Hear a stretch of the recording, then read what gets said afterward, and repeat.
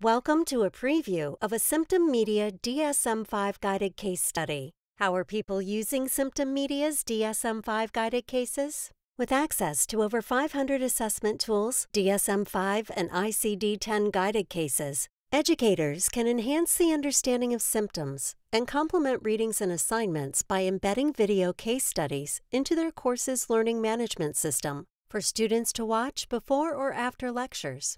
Be sure to visit symptommedia.com to sign up for a free trial today. Do you skip meals or eat less to stay looking the way you want to look?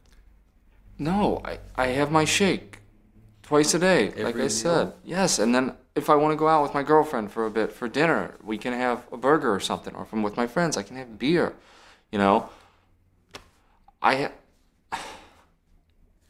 I have a target that I want to look like. Join the over 300 universities, colleges, medical schools, and hospitals subscribing to Symptom Media. Be sure to visit symptommedia.com to sign up for a free trial today.